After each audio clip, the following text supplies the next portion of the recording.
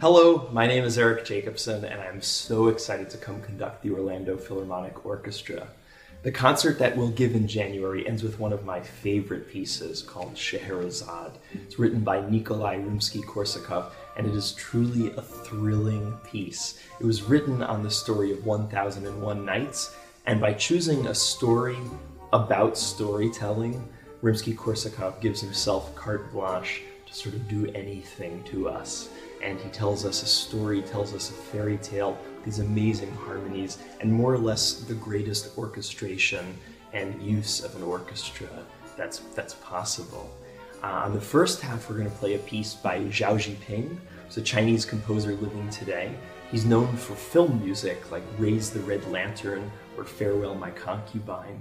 And what he's doing is he's taking a Chinese folk song and incorporating it into his concerto for pipa, an orchestra. A pipa is a traditional Chinese instrument. Uh, it looks a little bit like an oud or a guitar, but it's played upright like this.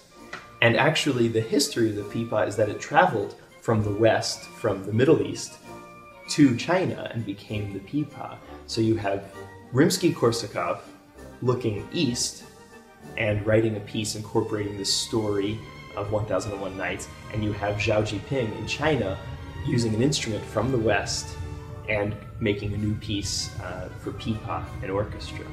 The concert all starts with Debussy, um, the prelude to Afternoon of the Faun, uh, based loosely on the poem by Stéphane Mallarmé.